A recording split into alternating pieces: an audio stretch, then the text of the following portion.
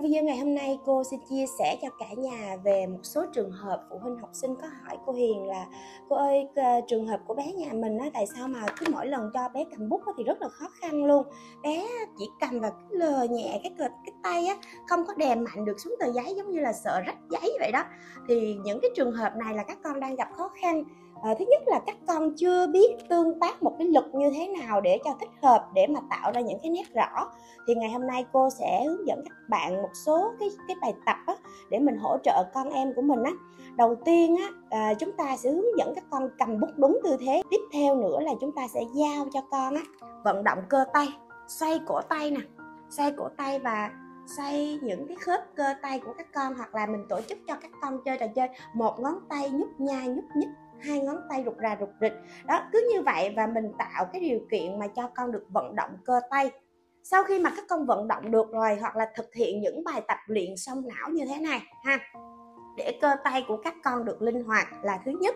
Thứ hai nữa đó là chúng ta sẽ giao cho con cầm bút chì và được tương tác trực tiếp lên giấy. Giấy nha cả nhà. Và phải là bút chì và một số phụ huynh á, không quan trọng về việc cầm bút chì mà cho cầm bút lông dầu hoặc là những cái bút bi á nó có cái độ trơn hoặc là mà nếu như mà chúng ta cho các con vẽ lên những cái tờ giấy giấy bóng như vậy nè hoặc là giấy trơn như vậy nè những cái giấy mà mình đi ép á thì nó sẽ không có hiệu quả nha cả nhà và sau đây là cô Hiền sẽ chia sẻ những cái bài tập mà cô hay áp dụng cho các bạn học sinh của mình. Thì cô các phụ huynh tham khảo nha.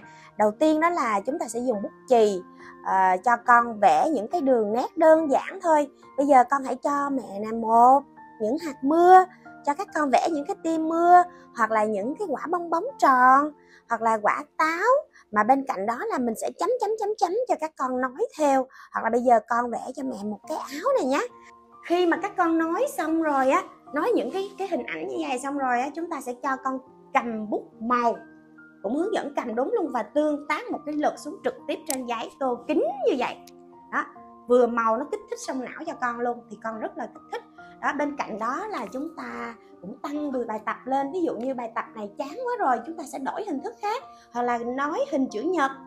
Với hình chữ nhật, hình vuông với hình vuông, con gà với con gà đó tương tác thật là nhiều bài tập luôn hoặc là mình cho con nói số lượng á.